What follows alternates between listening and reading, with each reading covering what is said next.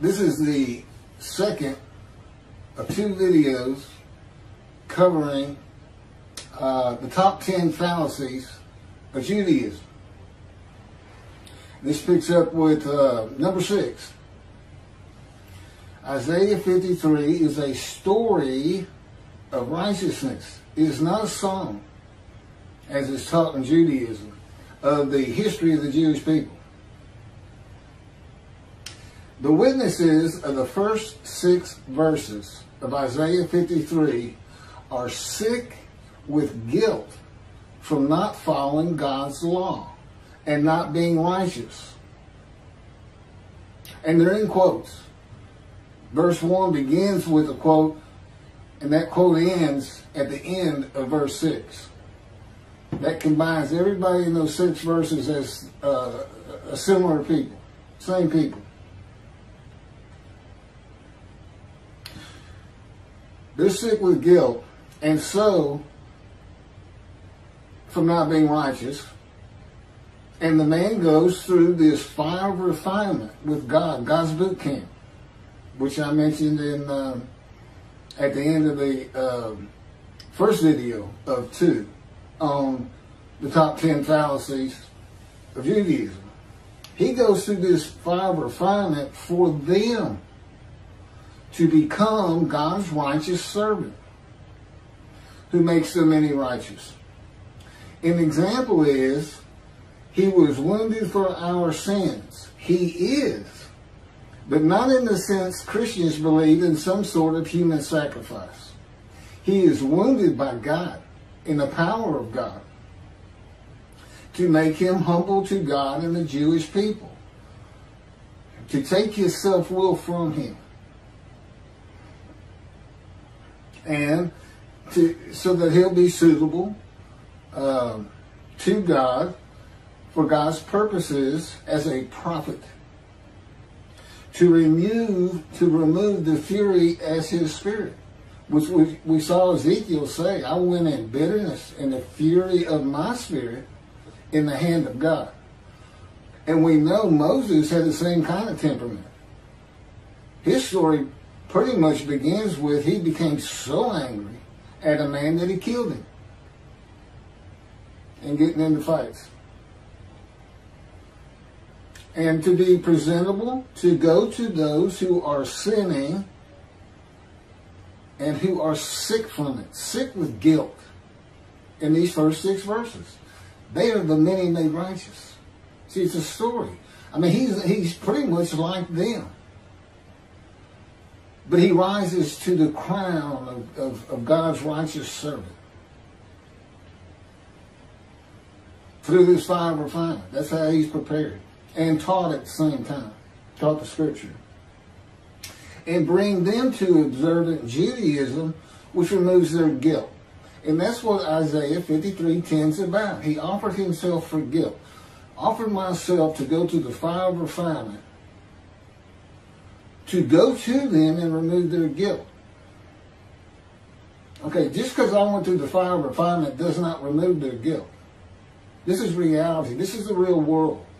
It's because as God's righteous servant, if they recognize me, and that's how the first verse start, starts. Who can believe our report? Who has the arm of the Lord been revealed on? Okay, that means they recognize me, believe who I am, and once they hear my story and understand how poorly Judaism has interpreted Isaiah 53, and that God is literally literally with me. His spirit entered into me and God is in his spirit. That makes them want, you know, believe again. And, and I come with the covenant of sin forgiveness. That is delivered in my capacity as Elijah. And really all I'm telling them is, you're sin free. You can, your guilt's gone. I offer myself for your guilt. And that's what it really means it, it, it, it's almost like, um, well, I was going to say metaphors, but it's not a metaphor. It's just, well, I'll come back to that. That is why he offers himself to God for guilt, emotional guilt of those who are not righteous that he's going to make righteous because they're going to believe in him. And that God is here. God is doing what he said he's going to do, and you're sin free. Get back to observant Judaism, or come to observant Judaism if you've never been. Honor God. He's cleared your slate. He's made you a holy seed to place his temple amongst you forever. You'll never be defeated and uprooted and dispersed again. The fire of refinement. And and so, you know, I've gone through the fire of refinement, and now I'm going to make the many righteous. Those who believe in me based on these proofs, my knowledge, and the two books that God dictated to me as he dictated the Torah to Moses. That's the proof. That my knowledge of heaven as Elijah.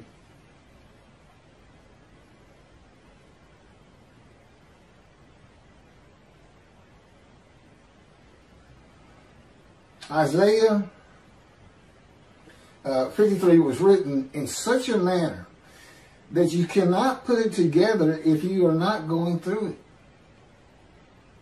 No one ever has. God had it written that way by Isaiah. You can't figure it out. And you don't even realize Ezekiel goes through the same thing. That's the go by that God put in put into the Tanakh. To show you this is this is how it's been done before. These are the same words being used. Ezekiel is punished for what? Well, ultimately for the sins of the houses of Judah and Israel. That's what he's told. Uh, but but really, what's happening is God's just making him angry, making him furious and bitter, being told he's got to suffer their their, their punishment. it's not really what's going on. God's just preparing him. I've been in God's fire refinement for 13 years. He spoke to me when I was 50 and I'm 63 today. During which he taught me the scripture and how to interpret Isaiah 53 and its association with the day of the Lord. You can find these two books, Isaiah 53 and the day of the Lord, at Keith McCarty McCarty.wordpress.com. And the second book, and this book was, was written so you can see how my life fits me into the verses of Isaiah 53. It's called The Life of God's Righteous Servant of Isaiah 53 at the same WordPress site. It's my life.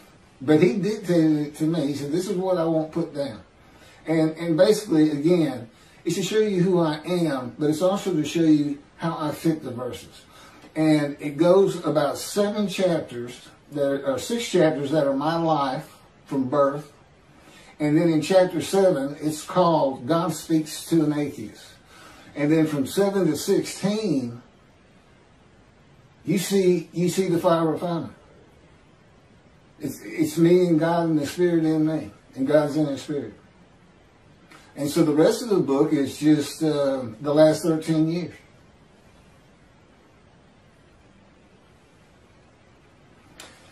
And I am the only man who has ever lived, including Jesus, that fits every verse. God orchestrated my life to be sure of it, to be a man of suffering, familiar with disease and affliction and disease, well, crushed with disease. Okay, the day of the Lord. Judaism, this would be number seven of the top ten fallacies of Judaism. Judaism teaches that in the Messianic era, the world is perfected and sin removed. Basically, utopia, heaven on earth.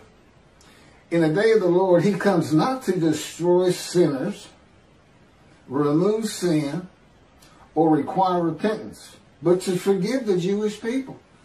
He comes with the covenant of sin forgiveness.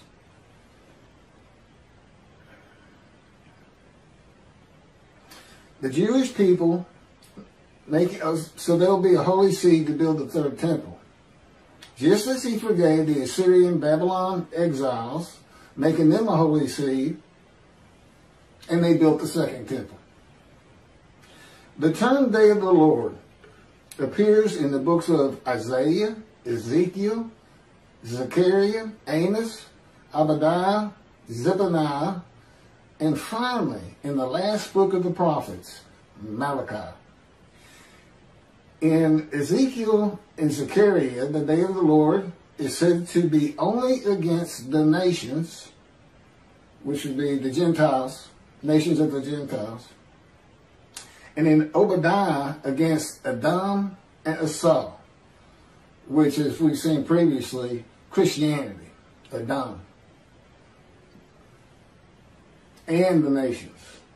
The prophets warn that the day of the Lord is near, but it is not the end of the world. The wicked and sinners will be punished and justice established. This is Isaiah chapter 13, verse 9.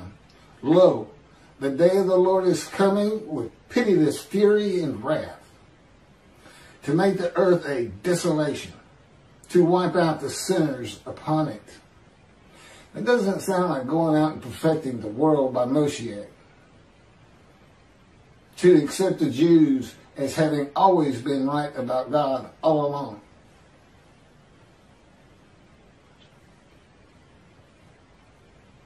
This is Ezekiel chapter 30, verses 3 through 5.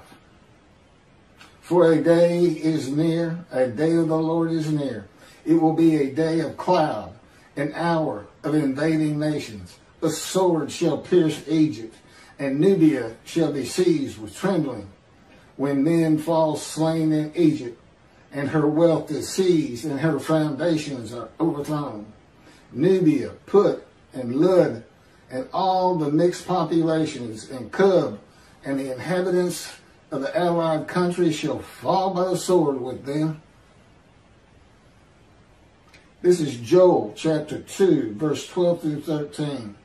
Yet even now, says the Lord, turn back to me with all your hearts and with fasting, weeping, and lamenting. Rend your hearts rather than your garments and turn back to the Lord your God for he is gracious and compassionate, slow to anger, abounding in kindness, and renouncing punishment. This is Joel chapter 3, verse 5. But everyone who invokes the name of the Lord shall escape, for there shall be a remnant on Mount Zion and in Jerusalem, as the Lord promised. Anyone who invokes the Lord will be among them uh, among the survivors. This is Amos chapter 5, verse 12. For I have noted how many are your crimes and how countless your sins. You enemies of the righteous, you takers of bribes, you who subvert in the gate the cause of the needy, assuredly at such a time, the prudent man keeps silent, for it is an evil time. Seek good and not evil, that you may live, and that the Lord, the God of hosts, may truly be with you as you think. Hate evil and love good, and establish justice in the gate. Perhaps the Lord, the God of hosts, will be gracious to the remnant of Joseph. This is Obadiah, chapter 1, verses 1 through 4. Thus said the Lord God concerning Edom, Christianity. I will make you least among the nations. You shall be most despised. Your arrogant heart has seduced you. You who dwell in clefts of the rock, in your lofty abode, you think in your heart, who can pull me down to earth? Should you rest as high as the eagle? Should your eyrie be lodged among the stars? I will pull you down, declares the Lord. Zephaniah chapter 1, 14 through 18. And I will bring distress upon men that they shall walk like blind men, because they have sinned against the Lord, and their blood shall be poured out as dust, and their flesh as dung. Uh, Zechariah chapter 14, verses 12 through 17. And for those peoples that warred against Jerusalem, the Lord will smite them with this plague.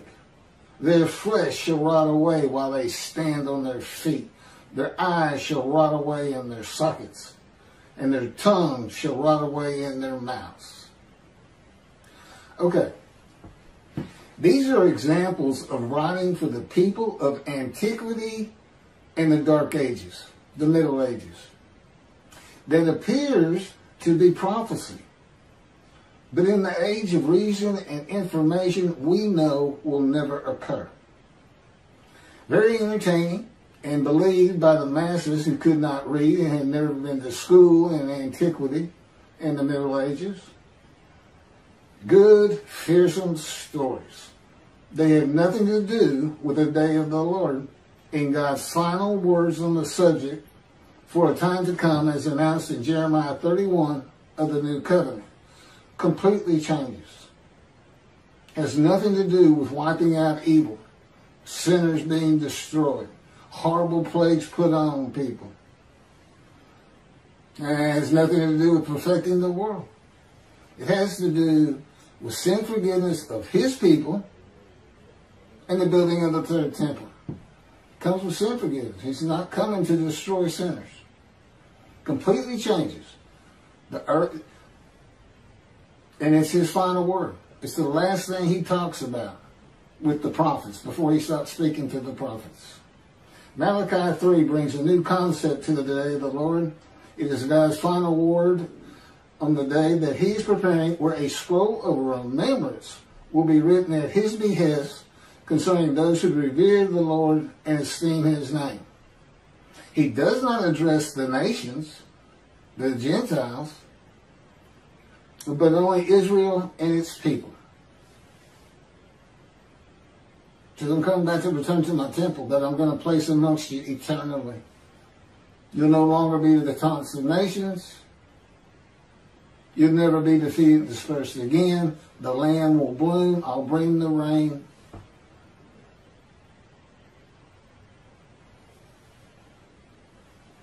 And sin forgiveness. In the day of the Lord, he comes with his messenger, Elijah, and the angel of the new covenant of sin forgiveness, not to destroy sinners or require their repentance, but to forgive them and give them another chance. That would be just his people. The scroll of remembrance, you have to be entered into it to go to the heaven that he is creating for the name Israel to endure the rabbis have been dismissed. By my, by my uh, arriving, reckoned with and dismissed. They don't go into the scroll of remembrance until they teach and straighten Judaism out the way the scripture says it is. Instead of these fallacies, these faulty arguments, these bad commentaries, this lack of reasoning and uh,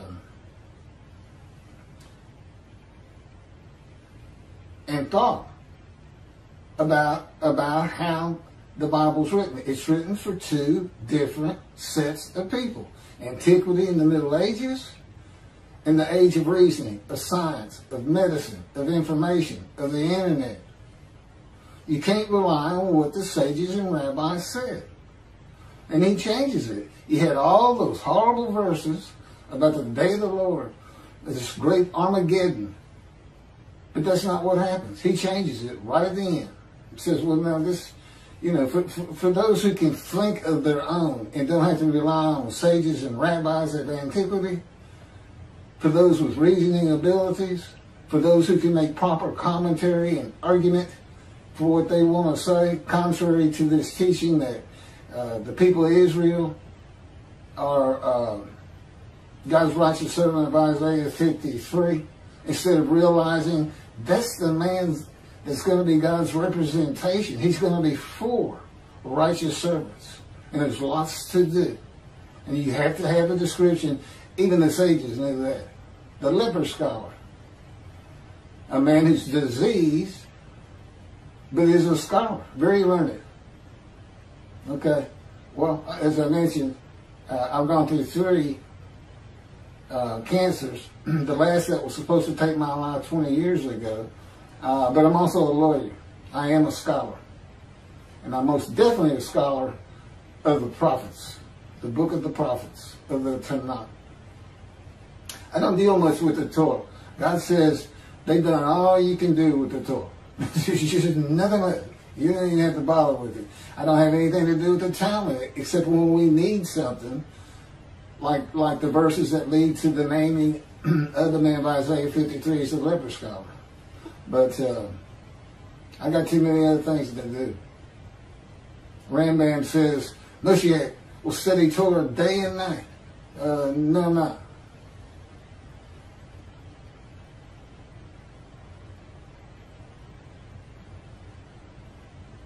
Okay, so in the day of the Lord, it's not to destroy sinners or require their repentance uh, because he forgives everybody.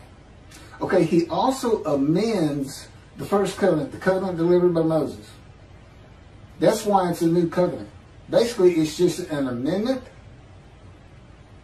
and an addition. That's the sin forgiveness. And here's the amendment. He amends the first covenant, Malachi 3, to be mindful of the teaching of my servant Moses, whom I charged at Horeb with laws and rules for all Israel, rather than strict compliance of the first covenant by, by all the Israelites. In Malachi 3, he, he shows you. Not everybody's going to heed him, even though that's what Jeremiah 31 says. Everybody shall heed me. Well, he, he's granting sin forgiveness. He, that's what you would expect. But we also know the reality is that's not going to happen. That's why there's also a scroll of remembrance. Those who heed and revere him, and those who do not. So he's recognizing that despite how uh, the new covenant of sin forgiveness is written, about everybody heeding him, and everybody will have Torah on the heart. Basically, you know what that means? Everybody's been eh, has a clean slate. Everybody is sin free. But don't fall to the evil inclination. Get back to observant Judaism. I mean, I'm supposed to make the many righteous. Well, they're all righteous. But they got to follow up on it. And they got to keep that slate clean.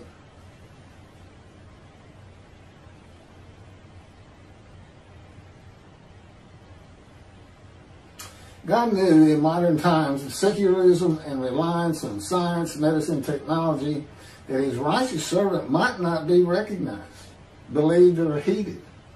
Again, 53 has in it, he was shunned, despised, and accounted plagued. And that's already been going on with me for quite some time. And I'm sure it will continue for quite some time.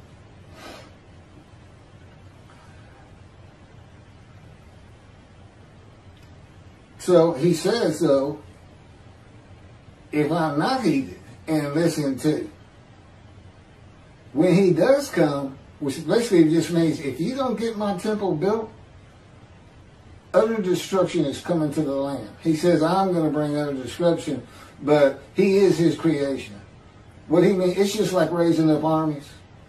He's saying Israel will be destroyed one day if you don't build this third temple and we don't make a lot of noise with the last prophet of God the last messenger of God. You know, that's what the Muslims say about Muhammad. They even etch it in stone on their mosque. The last prophet, the last messenger of God. Well, he's not. And that's going to cause some noise too. Because you're looking at the last prophet right here. And what else should you see if you use your imagination? The angel of his presence, the Holy Spirit, has entered me and God is in him.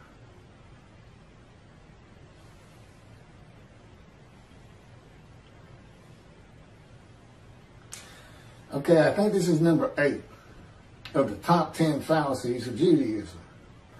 God, his angel spirit, the Gentile Moshiach come from Edom.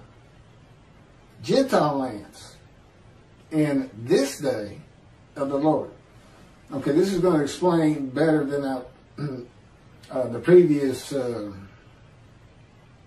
seven fallacies how it is Edom is associated with Christianity and Gentile lands.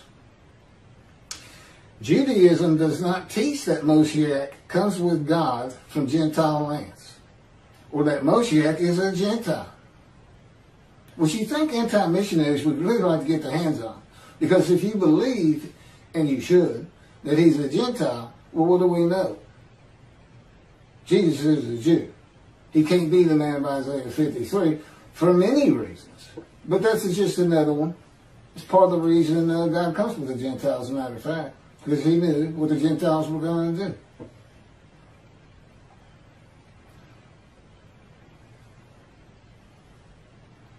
Who is this coming from Edom in crimson garments from Bozrah? That, that was a, a city kind of like Jerusalem to Edom. That was their capital city. Majestic in attire, pressing forward in his great might. It is I who contend victoriously, powerful to give triumph. Okay, that's God. And that's Isaiah chapter 63, verse 1. In the Talmud, Edom is described as the eternal enemy of Israel and Judah who not only always oppressed Israel, but at the time of the destruction of the first temple, took advantage of the situation and seized control of parts of Judah. And it is hinted that Edom also took part in the destruction of Jerusalem and even in that of the temple itself. The overwhelming majority of homilies about Edom speak explicitly of Rome, Gentiles it was stated that Rome was founded by the children of Esau, brother of Jacob, who was re, uh, Jacob, of course, renamed Israel, who were eternal antagonists against each other. Esau only married Gentile women. All of his children were Gentiles. The Hebrew word Edom means red and the Hebrew Bible relates it to the name of its founder, Esau, the elder son of the Hebrew patriarch, Isaac, because he was born, quote, red all over. As a young adult, he sold his birthright to his brother Jacob for red pottage. The Tanakh describes the Edomites as descendants of Esau. These identifications occur in the Midrashim, which that's the plural form of Midrash, and the Talmud, but also in the Palestinian Targums of the Torah, and in the Targums to Lamentations and Esther. Edom became a synonym for Christian Rome, and after the fall of Rome, to Christianity. The Targums are interpretive renderings of the books of the Hebrew Scriptures uh, with the exception of Ezra, Nehemiah, and Daniel, uh, into Aramaic. Uh, such versions were needed when Hebrew ceased to be the normal medium of communication amongst the Jews. In synagogue services, the readings of the scriptures was followed by a translation into the Aramaic vernacular of the populace. Uh, and that's from uh, Bruce M. Metzger, a rendering on the Jewish Targums. God says in 63 verse 3, I trod at a vintage, a vintage alone of the peoples, that's the Jewish people, no man was with me. That's how you know he comes with a Gentile. He's got to have his Moses, his visible representation speaking and writing his words.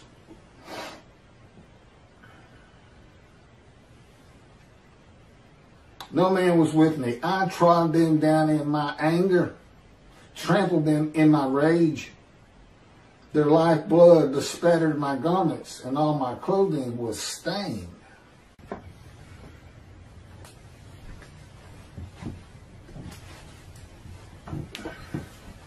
Okay, picking back up. This is a reference to utter destruction to the land of Malachi 3.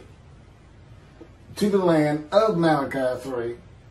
If the purpose of Elijah does not prosper, that's clearing the way for the Lord. Because the Jewish people will not recognize his prophet. The Lord coming from Edom is mentioned by many of the prophets in the Bible. The Lord was not allowed to pass through Edom in the Exodus with Moses. They didn't they wouldn't let him come through. They had to go around.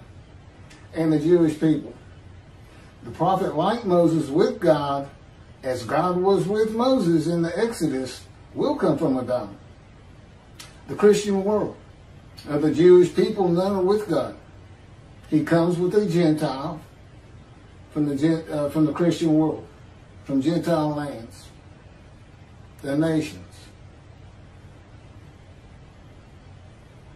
Number nine of the top ten fallacies of Judaism.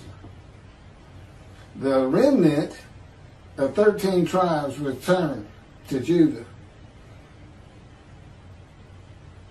The Talmud talks of, of 10 lost tribes, and Judaism teaches that today. There were no lost tribes. All you got to do is read Nehemiah and Ezra. They make it clear. That's what the scripture says. Scripture says all 13 tribes. There's 12 tribes who were allotted lands of the promised land. But there's a 13th tribe, and that's the priestly tribe. And uh, they weren't allotted lands. Isaiah 52 is an announcement of prophecy fulfilled. This is 52. And this isn't taught correctly either. A prophecy fulfilled in the return to Jerusalem and Judah of a remnant of all 13 tribes from the Assyria, Babylon exile. It's not just Babylon. To build the second temple by decree of Cyrus of Persia who of course was a Gentile. And he was a Moshiach, anointed one. He was anointed to build God's temple. And what he did, he said, I'm going to release all the exiles of Assyria and Babylon. And uh, by decree, he told them to go to Jerusalem if you desire and rebuild God's house.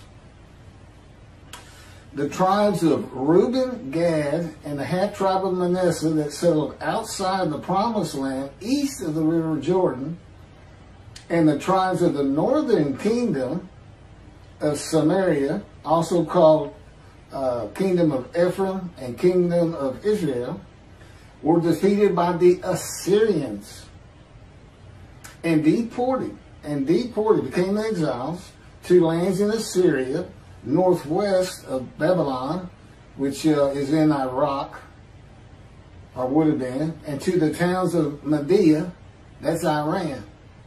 The Assyrians imported, this is very important, they imported Gentiles to the lands of the northern kingdom.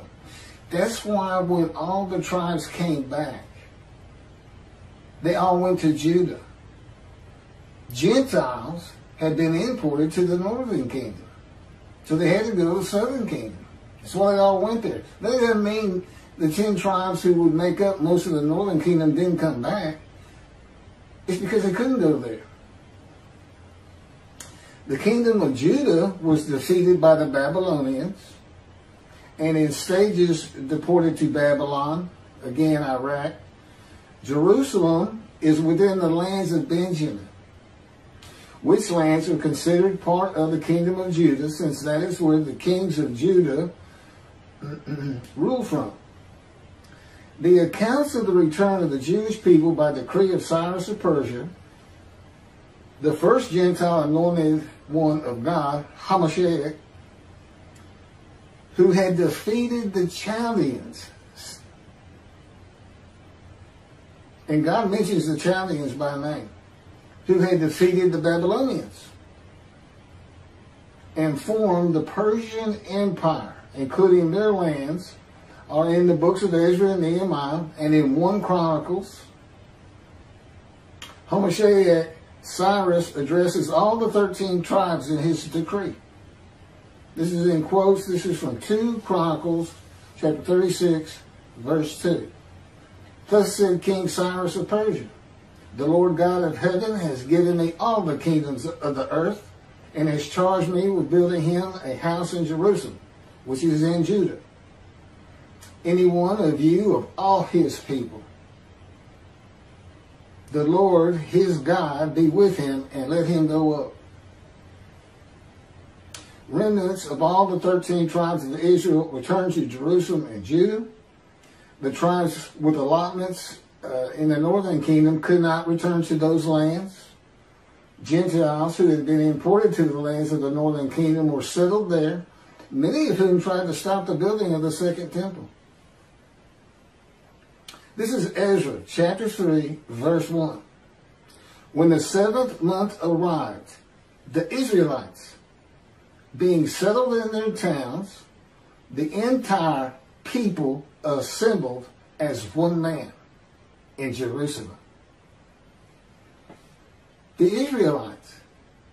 Well, if just Judah and Benjamin return, you can't say Israelites because Judah and Benjamin aren't the Israelites and cannot assemble as one man Israel. They can't. All 13 tribes came back.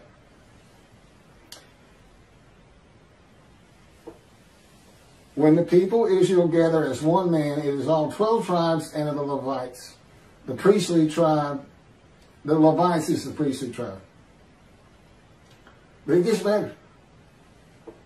1 Chronicles chapter 9, verse 2 and 3.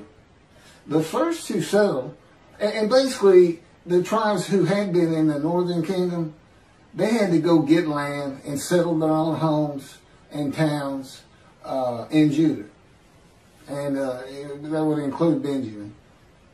The first to settle in their towns on their property were Israelites, priests, Levites, and temple servants, while some of the Judaites and some of the Benjamites and some of the Ephraimites and some of the Manassesites settled in Jerusalem. Well, right there, you can't say 10 lost tribes because it says Manasseh and um, Ephraim came back. They make it eight, eight tribes lost, four came back. But even more importantly is this. Ephraim and Manasseh were not lost tribes, as many believe from writings outside of the Hebrew Bible. It is said in writings by sages and rabbis that 10 of the 12 tribes of Israel became lost and did not return to Judah to build the second temple. There never were lost tribes.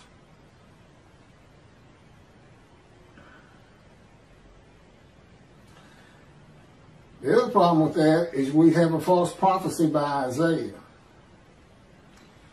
Isaiah chapter 43, verses 5 through 6. Fear not, for I am with you. I will bring your folk from the east, will gather you out of the west. I will say to the north, give back and to the south do not withhold. Bring my sons from afar, and my daughters from the end of the earth.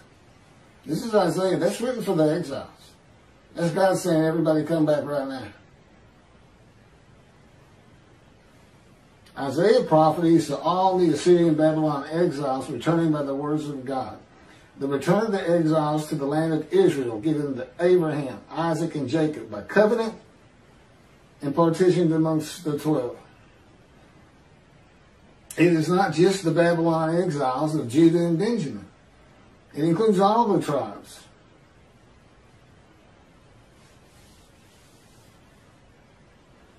In Isaiah chapter 43, God says, verse 14, Thus said the Lord your Redeemer, the Holy One of Israel, For your sake I send to Babylon, I will bring down all her bars, and the Chaldeans the Chaldeans shall raise their voice in lamentation. The Chaldeans defeated Babylon. The Chaldeans were defeated by Assyria. And Assyria was defeated by Persia. It's not just Babylon exiles of Judah. I'm about to do something new. Even now it shall come to pass. Suddenly ye shall perceive it. I will make a road through the wilderness and rivers in the desert. It is I, I, who for my own sake wipe your transgressions away and remember them no more. Sin forgiveness. All 13 tribes. There are so many other verses where they gather as one man Israel, as Israelites. Again, that's all 13 tribes.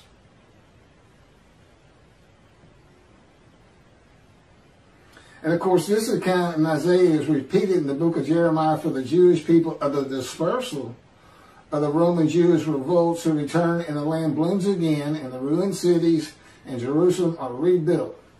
God's prophecy of a time to come that also includes sin forgiveness.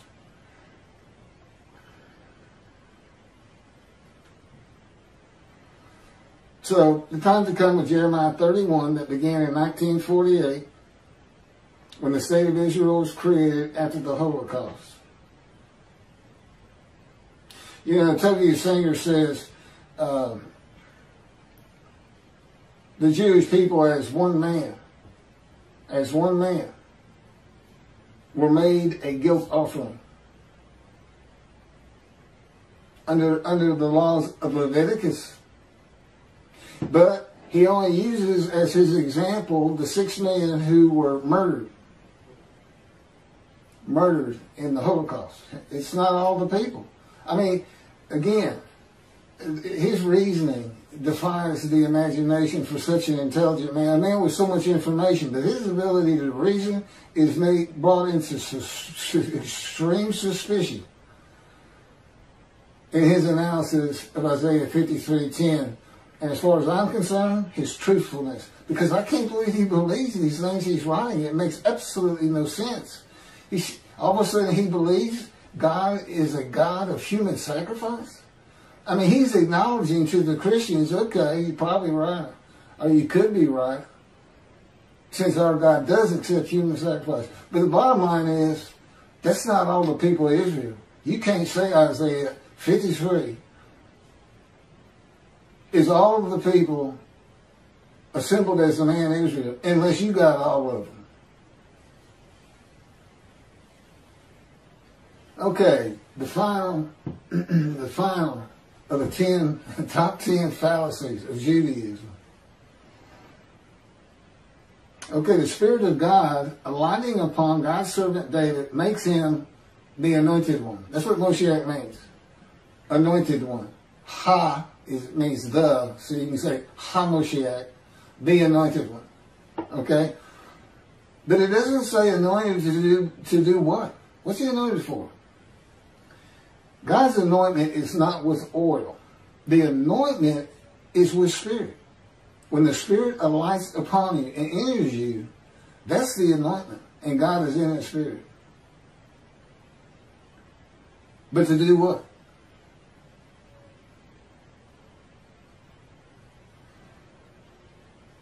Okay, the Spirit of God alighting upon the descendant of King David makes him the anointed one, but as I said, to do what? It is to be God's righteous servant. That's where he's described, Isaiah 53. What does he do? He's anointed to make the many righteous. And it includes many other tasks because as it turns out, he's four righteous servants.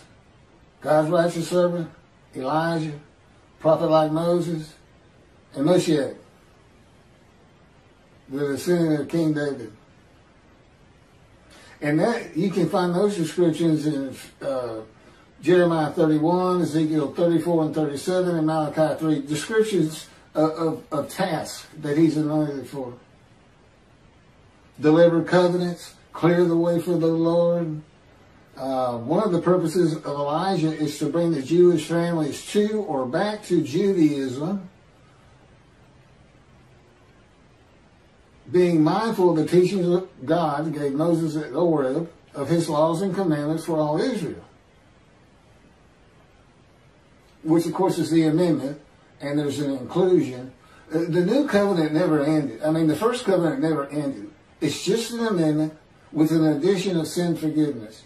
It's basically a confirmation. Amendment, confirmation, uh, supplementing, And of course, mindful means not strict compliance. Makes it a little bit easier on those who, who just uh, can't be ultra orthodox. They just can't do it. It's just too much. Ultra Orthodox can take that for what they want. Everybody's going to have to come up with their own, every branch of Judaism. What is meant by mindful? What does that mean? How does that change what we do right now? It's an affirmation and confirmation by declaration of God that He is the God of the Jewish people and the Jewish people are His chosen of all the earth. You know, Judaism doesn't teach anything on the day of the Lord. It completely conflicts with the Messianic era. They just simply do not go together. And Judaism doesn't teach of the day of the Lord. Um, or, or even, they don't even know that prophets are men and divine beings because they don't recognize the Holy Spirit as a person.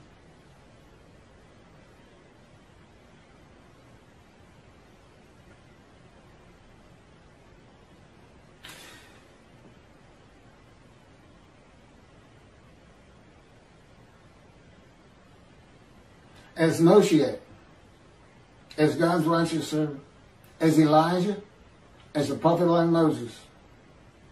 I am a man in divine beings. And this is a, you know, it's, it's, those are all just names. Basically, God has come to me and said, I've got things for you to do. Uh, but I got to whip you into shape. I'm going to put you through fire refinement, my boot camp. I mean, it's great to hear those names. But they don't really mean much other than the fact I'm a man of divine beings. And each of them was two. If you know what you're looking for, you'll find Moses was a man of divine beings. You'll find David was a man of divine beings. You will find Elijah was a man of divine beings. It's there. Once you know what to look for, you can find it. And of course, I point them out in the book. That's all great names aside. Nothing gets done if you're not a man of divine beings, because no man can do these things that, quote, Moshe is supposed to do. Most Much less God's righteous servant, Elijah, prophet like Moses. Mean, I can't write God's words if he doesn't tell me what to write down. You say, well, how could Judaism not know of these things? God didn't want you to know. It's my proof. It's my proof. Uh, so there's three persons with this, within this human body. But guess who's in control of the show? It's not Keith. And it's not even the Holy Spirit. It's God. He can control my thoughts, my words, my physical movement. And he does. And he can speak to me if he wants to. And he, I can only say those things that he would want me to say and in the manner he would want me to say it. What kind of emotion to show. He controls emotions. He said, I created emotion, Keith, and he's proven it to me. I mean, you can be in the greatest mood in the world, and in an instant, you can be in a deep depression. You can be in a deep grief over losing a loved one. He's shown me more than one time. And it's fearsome it's fearsome. It's not. It's not something that's easy to go through by any stretch of the imagination. But it does change you. I am not the man I was when we started. And if you read the book, The Life of God's Righteous Servant, you can see it. You can see what my life was until I was age 50. And then see what it's like right now and who I am now. It's very interesting.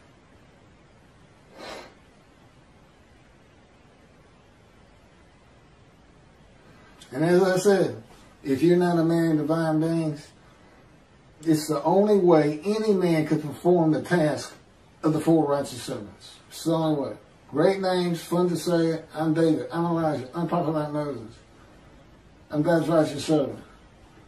The important one is I'm a man of divine beings.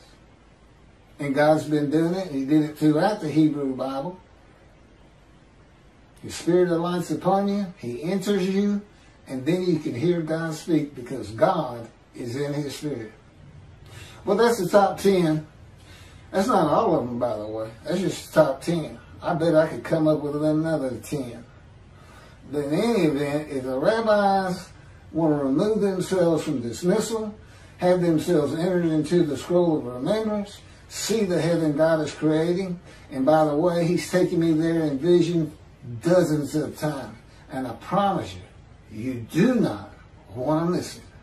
I promise you. Is something else. They're going to have to teach the manners of those two books. They're on the internet, WordPress site, Keith McCarty, McCarty.wordpress.com. Uh, and, and I do every single chapter of both books uh, on YouTube. So you can, you know, you get more out of it if you read it because you can think more than just listen to me just go, go, go and talk, talk, talk. But every time you see me, I'm reading from those books. I'm reading from those books. Thank you very much for listening.